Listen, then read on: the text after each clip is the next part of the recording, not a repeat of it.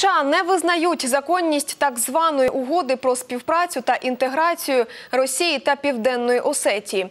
Документ напередодні у Москві підписали Путін та лідер самопроголошеної республіки Леонід Тібілов.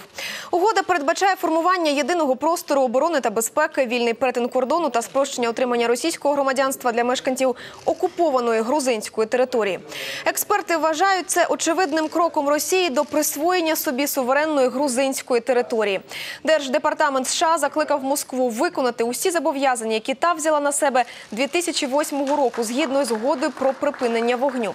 Йдеться про повне виведення російських військ із окупованих територій, чого досі не здійснено.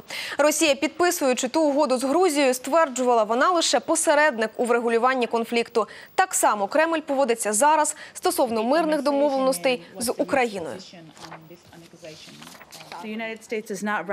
Сполучені Штати не визнають законною так звану угоду між Російською Федерацією та окупованим грузинським регіоном Південною Осетією, так само як і договір, підписаний у листопаді 2014 року з Абхазією. Ми продовжуємо підтримувати незалежність, суверенітет і територіальну цілісність Грузії.